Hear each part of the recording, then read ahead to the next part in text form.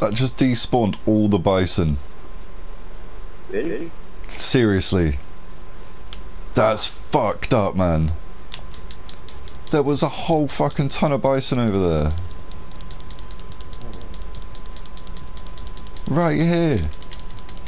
Right now. Yeah, A few?